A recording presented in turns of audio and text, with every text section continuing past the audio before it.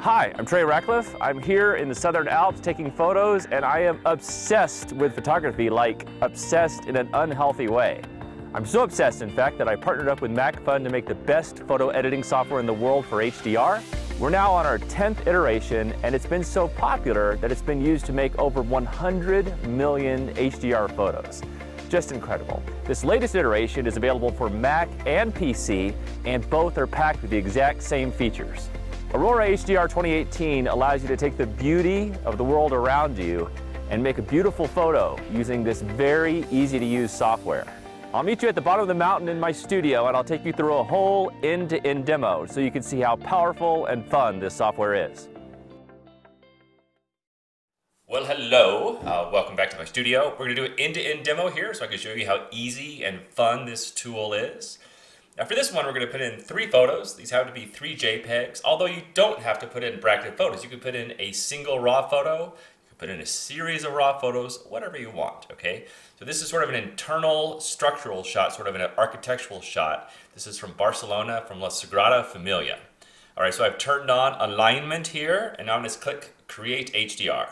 All right, while that cake is baking away, let me show you some before and afters. This is in Kabukicho, Tokyo. It's a landscape scene reflection shot. Beautiful Italy at night. Here's a street scene from Puerto Rico and San Juan. Some beautiful rolling hills. This one had some ghosting, which was corrected with Aurora HDR 2018 with the blowing lupins. Here's a cartoony one from Osaka. Here's my hometown of Queenstown, New Zealand. And here's a shot taken from a single raw photo. Okay, welcome inside. Now, even though this is a very powerful tool, let me begin by showing you the easy way to use it, okay? And the easiest way to use it, and this is for beginners and beyond, is just to use the presets. So down here at the bottom, you can see all these different presets, right? And there are preset categories. If you click this, this opens up various different categories. Because this happens to be an architecture shot, go click on architecture right here, and then this will repopulate along the bottom with all these different presets. So let's just try some different ones. Let me click on Architecture Bright and see how that looks. That looks pretty nice. Um, one of the greatest things about Aurora HDR is that you can make it however you want. You can make it look super cartoony, HDR-y, or you can have it be very realistic. Um, I'm all over the place, according to me. Uh, that's okay. Sometimes I'm just in a super HDR mood, and sometimes I'm not. And let's say you find one that is like a little bit, you know, over the top, like you might think, right? Like this one, uh, Architecture HDR Look 2. There is this amount slider that I can click on and I can adjust it down so it doesn't have to be that high, right? So that's another great thing about the presets is that you can adjust all this stuff how you wish, all right? Now, now that we've done that, let me show you a little bit more under the hood if you want to make some more adjustments. So up here in the UI, you can see this is the presets panel. So if I click that, that will go away. This one brings in all these panels from the right side, and this is kind of where the real power is. And I encourage you just to have fun with these tools, play with them like a little kid. Don't be intimidated, right? You're not going to make any mistakes. Um, right up here on the top, let me introduce you to this section. This is the layers section. Now again, it's not necessary to use all these different things, but I like to use layers because sometimes I like part of my photo to have a lot of texture, a lot of color, a lot of HDRness, and maybe other parts of the photo I want to be more smooth, right? I like to have a transition. So this is one great thing about layers is you can do different things in different parts of the photo, all right?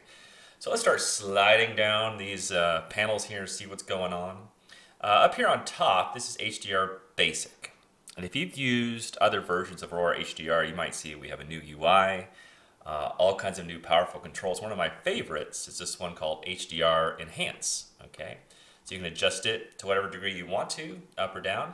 Usually you can go up to 50 and not get any halos or anything like that.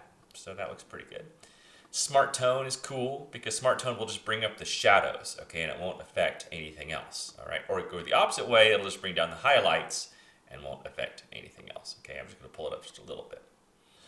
All right, now let me show you maybe one of my favorite areas. This is HDR structure. And this will allow you to take your HDRness to whatever you want, okay? So you can see I could really amp it up here. I could take the amount all the way to 99. Um, I could take down the softness all the way, which of course means it's sharper. I could add some more boost, and you can see it's just kind of going a little HDR on drugs. Uh, if I want to reset this whole section, I just click this little reset button here, and it takes it back to normal.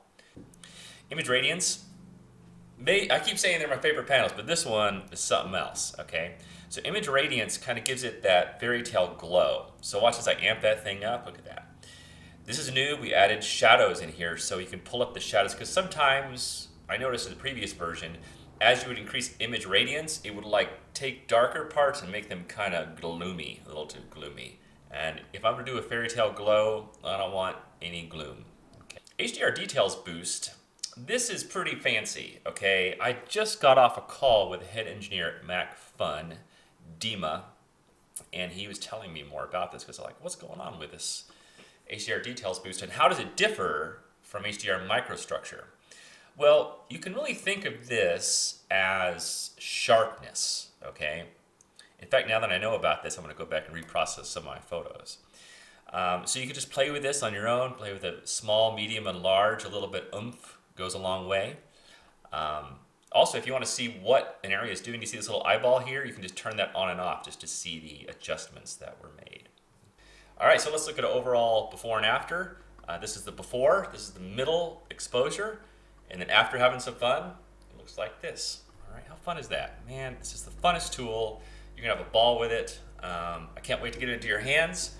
Um, if you have any questions, let me know in the YouTube comments um, or wherever you see this Facebook comments. I guess we'll put it everywhere. And click down below to get it right now. All right, thanks. You guys are awesome, and I'll see you soon in the next video. Bye.